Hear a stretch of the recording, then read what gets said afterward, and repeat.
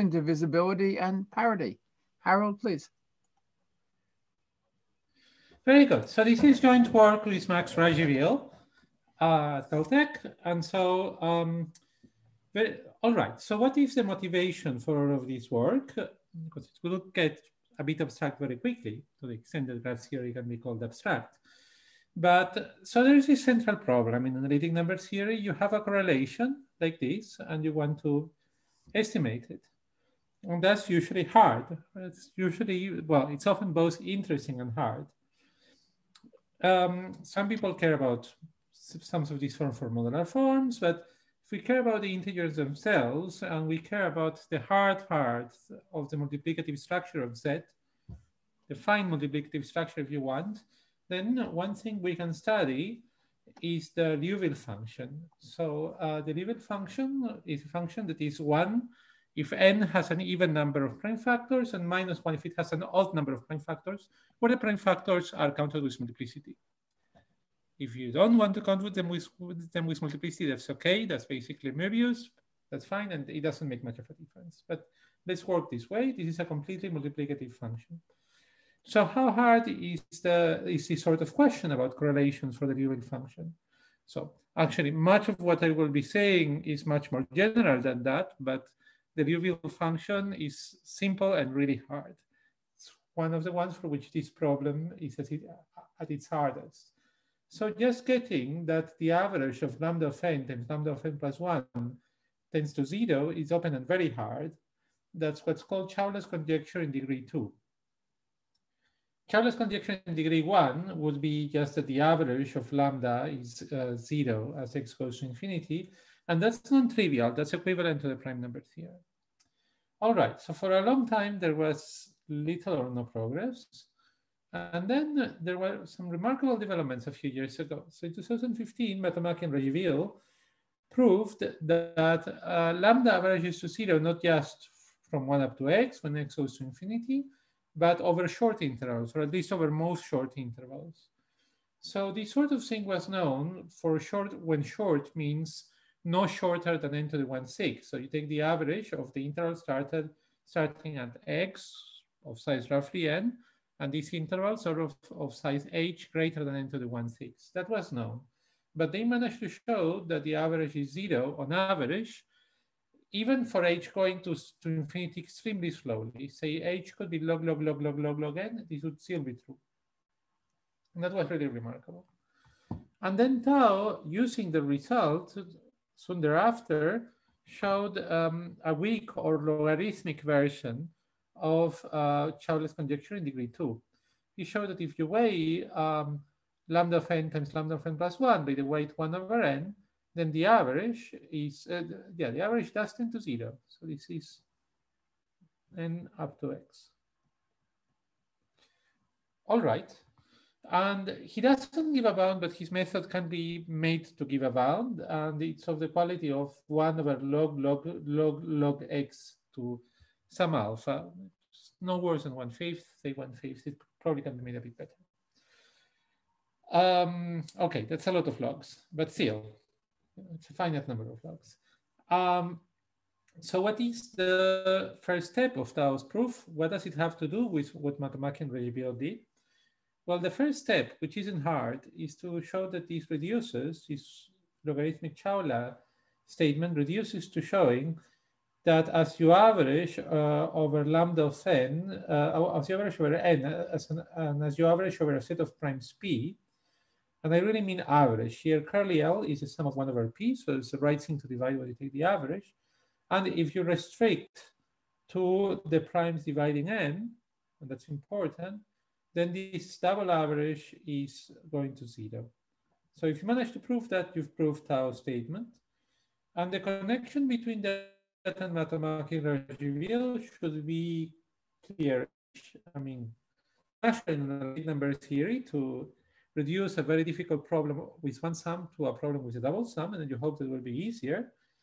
If we did not have that condition, all right, so I said it should be clear, but in fact, that can be a bit deceptive. I've highlighted this condition P divides N because if it weren't there, and if instead you had a, a weight of 1 over P, So if P were out of range freely, but with weight one over P, then that this statement, that this average, this little of one would be roughly equivalent to what Matomaki-Radziwiłł did.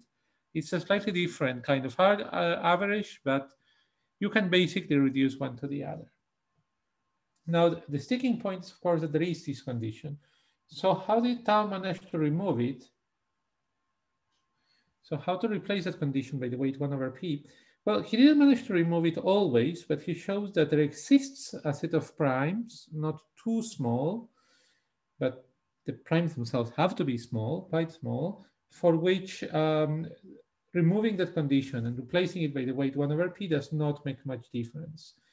And what's the strategy? It's well, the idea is that entropy is additive. It's a coarse measure of correlation, but it's uh, well, think of this in statistical terms. Now, P over N should have, on average, not that much to do with the value of lambda of N.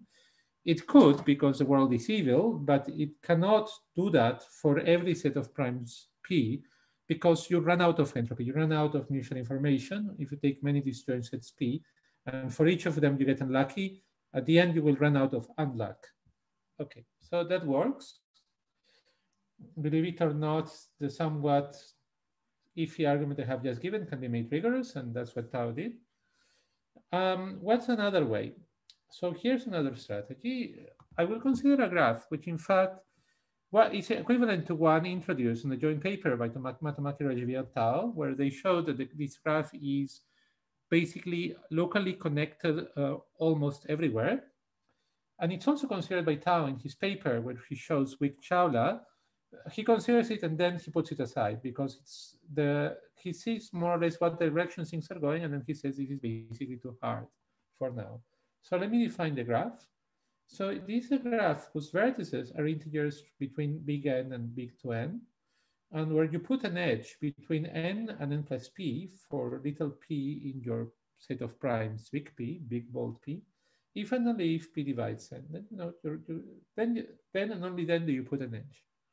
And so Tao says that, you know, if you could prove that this is an expander graph of sorts, he has to say of sorts because, for example, this graph is not regular. Um,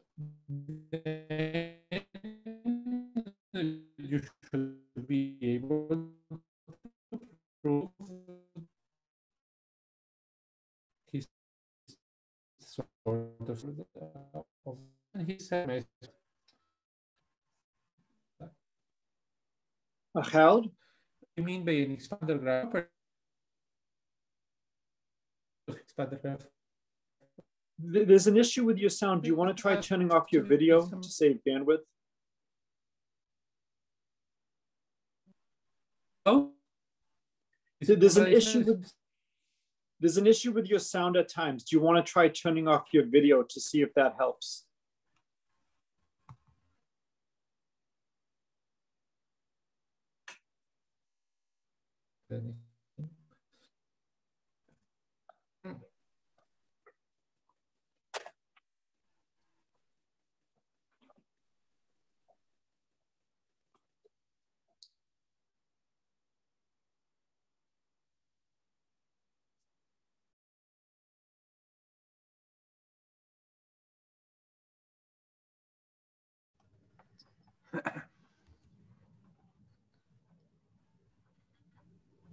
Can you hear me? Uh, I will turn off.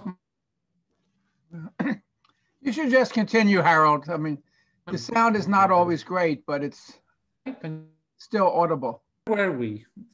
Some sort of expand property. Could you hear me? Yes. Should I proceed from here? Okay property, I mean a property of spectrum of an operator, operator um, F um, set of complex number. That's very general. Some morally to box. Um, sort of later can hope clear everywhere which walk, because short walks not be able to go that far, just in the Euclidean distance. We should aim for some sort of uh, local expansion, almost everywhere, but we also want it to be um, we will prove that the ideas where conventional expansion expansion is actually very epsilon times the degree. The average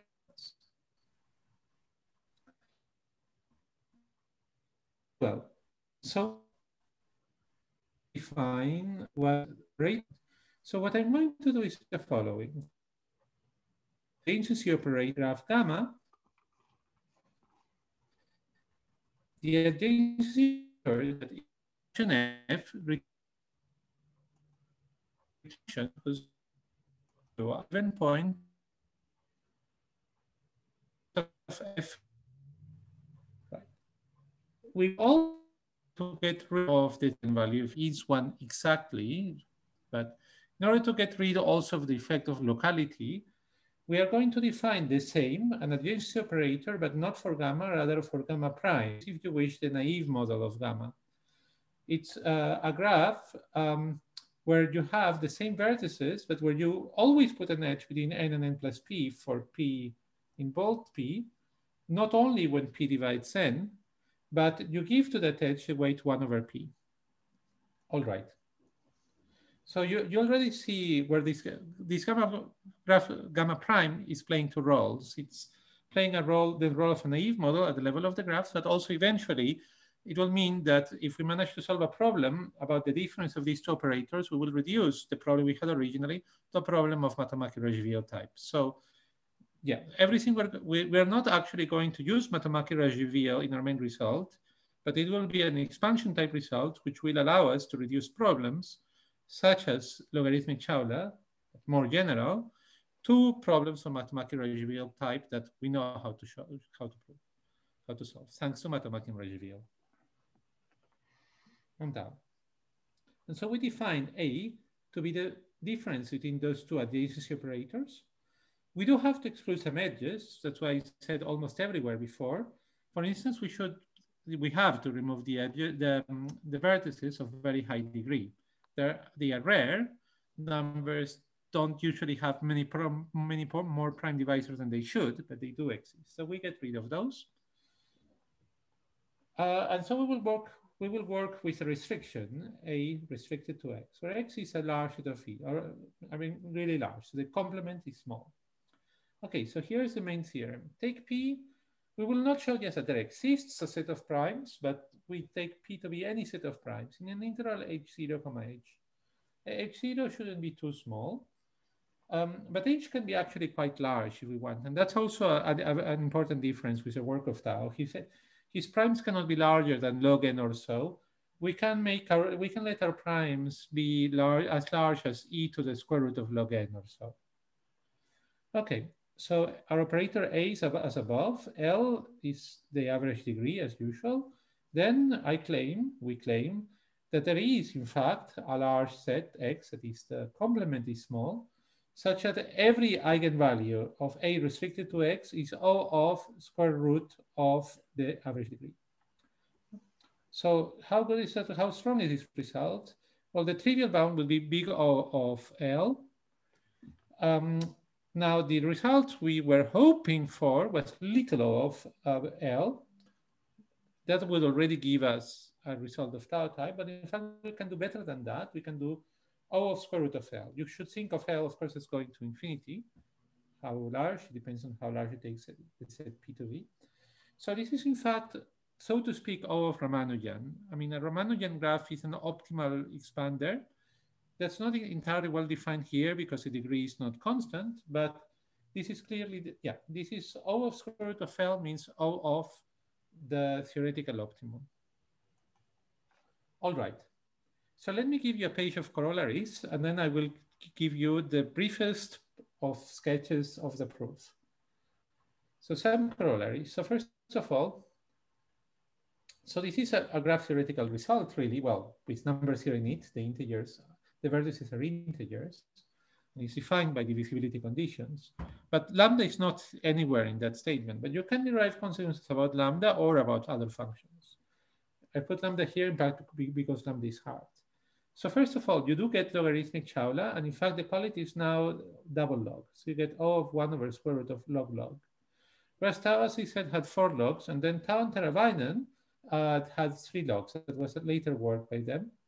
Now, Tao and also proves something actually a bit stronger, and we, we again managed to get something stronger than this, qualitatively similar, but quantitatively stronger namely um, that um, at almost all scales, uh, well, I will not make this entirely precise, but at almost all scales, Chowla, strong Chowla holds. And the, bound, I'm not making it entirely precise in the sense that I'm not saying exactly what the bounds here will be, but let's say that the number of exceptions and the quality of the bound is better, is of quality double log. Now, the, uh, you can also derive other corollaries. For instance, you don't have to average this overall n. You could restrict to n or n plus 1 having your favorite number of prime divisors, as long as it's not a very rare number of prime divisors, and you would still get cancellation. And moreover, just uh, to be really concrete, so for any k, your favorite k, if you just restrict to the integers n that have exactly k prime divisors, for instance, if you restrict to the integers n that have integer part of log log x, log log x prime divisors on the nose, then you have that the average of lambda of n plus 1 is of 1 over log log to the 3 fourths. At almost all scales, again. So for honesty's sake, I should say, well, what happens if k equals 1? This would give you this classical open problem of average lambda, averaging lambda of p plus 1. And we don't even know that there are infinitely many primes p for which lambda p of p plus 1 is 1 or minus 1. Uh, yes, but the problem is that there, uh, if k is 1, primes are so rare that this bound is not non-trivial. So because this is worse than 1 over log x. So we don't solve that problem, but we do solve the analogous problem for n equal to, say, exactly the integer part of log log x or exactly the integer part of log log x plus 2021. All right, so let us go in the remaining seven minutes, or maybe eight if I'm told that it, this interruption was the fault of the gods. Um, let me give you the main ideas.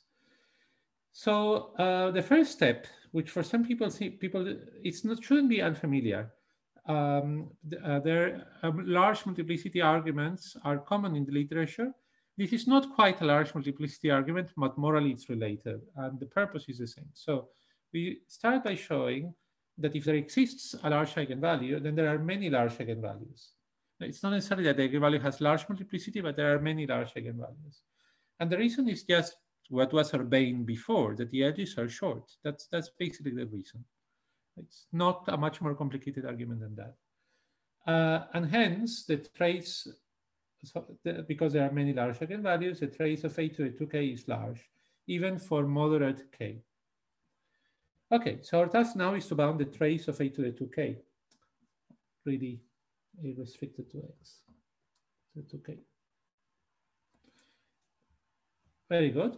And that's a sum over closed paths uh, of length 2k, a sum in which graph, not quite in gamma, in, so to speak, gamma minus gamma prime, in that we use the edge weights in gamma minus the edge weights in gamma prime.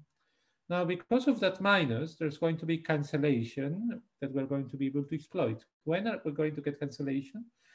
When many primes appear exactly, when there are quite a few primes that, that appear exactly once each. The more primes there are, the more prime speed there are, such that P appears only once in the walk, in the path, um, uh, the more cancellation you're going to get.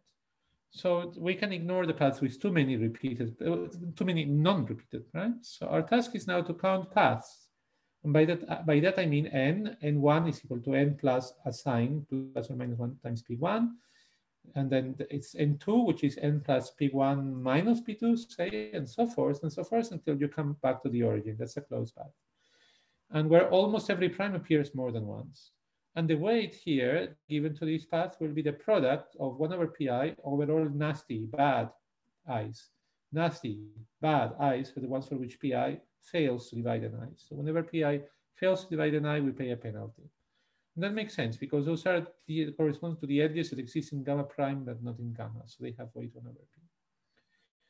Okay, so step two, um, for the sake of our argument, we want to avoid, even though our primes will be recurring, so our primes will generally appear more than once, we want to avoid early recurrences. We want to avoid cases where there's a prime pi and then other things happens, at least a different, one different prime pj comes up, and then pi appears again as pi prime. It's the same very pink prime, maybe magenta, maybe fuchsia. At any rate, with i prime minus i small. Um, and we want to avoid that. For I, we want we don't want that to happen with i prime minus i small. So we avoid that by removing from X all n that cause such recurrences. And it's actually not hard at all to show that that's a small set. What is much harder to show is that that set is well distributed on arithmetic progressions. And we need that so that the previous step, course, I'm not giving the steps quite in order. So the previous steps, the previous step uh, is legit, so you can get cancellation. So the way to get that it's well distributed, well, that's technically difficult. We ended up developing a generalization of Ron-Sieve, but for conditions, not for conditions modulo prime, modulo primes as usual, but conditions with modulo composite numbers. And the problem there is that because of redundancy, because a condition modulo 3 and a condition modulo 15, no, or a condition modulo 3 and a condition modulo 10 can have the same conjunction, logically speaking, as a condition modulo 6 and a condition modulo 5, the product is the same. That doesn't really happen. That doesn't happen for primes. Um, you could get some combinatorial explosion that doesn't happen in the usual sieve, but we avoid that using Rota's cross, uh, crosscut theorem. I'm making a long story short. But that's that's a sieve that should have other applications. At least that's, that's my gut feeling.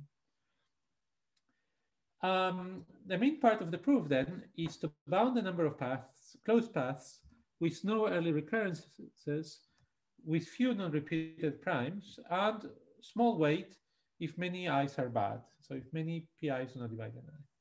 Now, if, pi, if i and i prime are good and pi equals pi prime, then clearly pi is going to divide the difference between the two ni's. So it's going to divide this linear combination of primes. So you have this entire system of divisibility relations. It's going to be a large system unless you have many bad i's. And if you have many bad i's, the weight of the path is small and so it doesn't matter.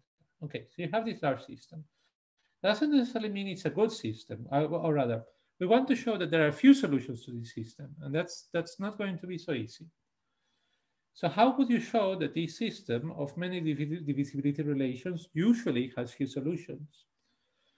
This could be very, I mean, you know, the, you could cook up examples in which this system is basically has basically same linear combination repeated over and over, and that wouldn't be good. So the idea is to color some primes blue and others red, and we're going to define these formal linear combinations consisting of just counting the red equivalence classes. By an equivalent, so I create these equivalence classes by defining i to be equivalent to i prime if pi equals to pi prime.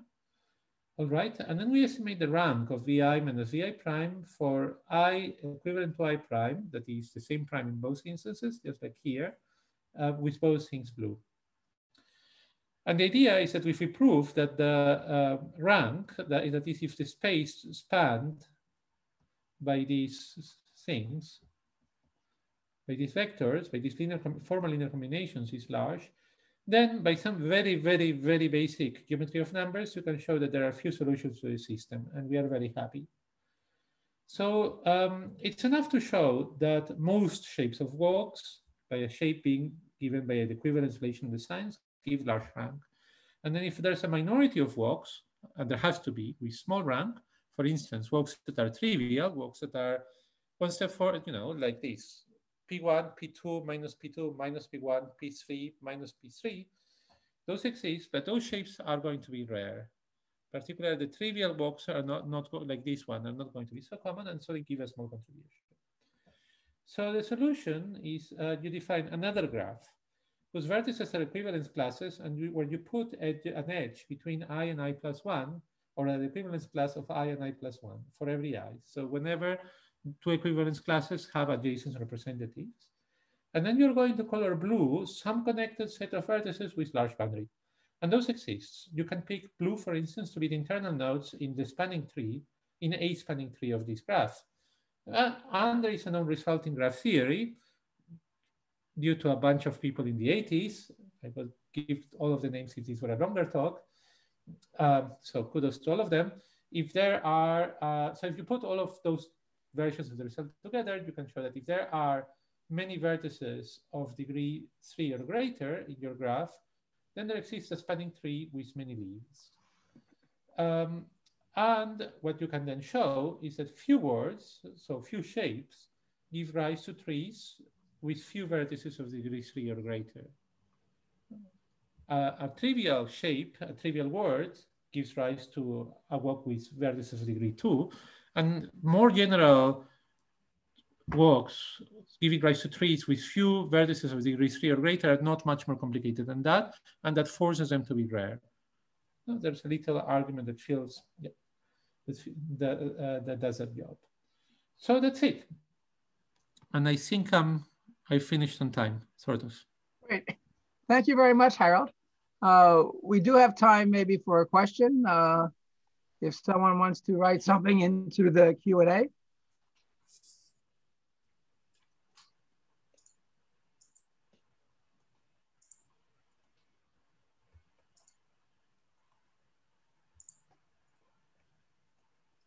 If not, again, Harald, thank you very much. And our next talk will be in two minutes.